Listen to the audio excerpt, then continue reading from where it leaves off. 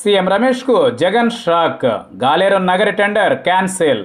నిన్న మొన్నటి వరకు టీడీపీలో ఉన్న రాజ్యసభ సభ్యుడు కడప ఉక్కు ఫ్యాక్టరీ కోసం వారం రోజులు నిరాహార దీక్ష చేసి రాష్ట్రంలో గుర్తింపు పొందిన నాయకుడు కడప జిల్లాకి చెందిన ప్రస్తుత బీజేపీ నేత సీఎం రమేష్కు భారీ ఎదురు దెబ్బ తగిలింది.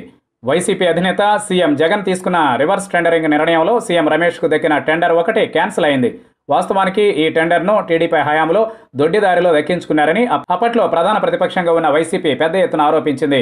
ఎలాగూ తక్కువ ధరలకే పలు ప్రాజెక్టులను నిర్మించాలని చూస్తున్న ప్రభుత్వం ఆ దిశగా చేపట్టిన నిర్ణయంలో భాగంగా గాలేరు నగరి సుజల స్రవంతి ప్రాజెక్టుకు సంబంధించిన టెండర్ని కూడా రద్దు చేసే దిశగా అడుగులు వేస్తోంది.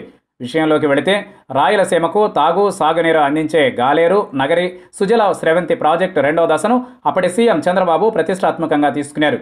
ఈ క్రమంలోనే ఆయన ఎన్నికలకు ముందు టెండర్లు పిలిచారు. దీనికి నాలుగు కంపెనీలు టెండర్లలో పాల్గొన్నాయి. వీటిలో నిబంధనలు పాటించలేదనే కారణంగా రెండు కంపెనీలను పక్కన పెట్టిన చంద్రబాబు ప్రభుత్వం ఆ వెంటనే మరో రెండు కంపెనీల టెండర్లు పరిగణలోనికి తీసుకుంది. వీటిలో సీఎం రమేష్కు చెందిన రిత్విక్ కంపెనీ కూడా ఉంది. మరో కంపెనీ ఎన్సీసీ అయితే ఇది రిత్విక్ కంపెనీ కన్నా పది శాతం ఎక్కువకు పనులు కోట్ చేసిందని పేర్కొంటూ దీనిని కూడా పక్కకు తప్పించింది. ఆ వెంటనే సీఎం రమేష్కు చెందిన కంపెనీకి ఈ పనులు అప్పగించింది. ఈ ప్రాజెక్టు ప్రధాన కెనాల్ వ్యయం నూట ఎనభై కోట్లుగా నిర్ధారించారు. అయితే ఈ పనులు పూర్తి చేసేందుకు రిత్విక్ కంపెనీ నాలుగు వందల ఆరు పాయింట్ ఏడు మూడు కోట్లతో టెండర్ వేసింది. అయితే అప్పట్లో ఆదరాబాదరాగా పిలవడం వల్లే నిధుల వ్యయం పెరిగిపోయిందని ఎన్నికల ముందు కావడంతో ప్రభుత్వం కూడా ప్రజల నుంచి ఓట్లు రాబట్టుకునేందుకు టెండర్లను ఇష్టానుసారంగా అనుమతించిందని పేర్కొంటున్న జగన్ ప్రభుత్వం ఈ టెండర్ను రద్దు చేయాలని నిర్ణయించింది.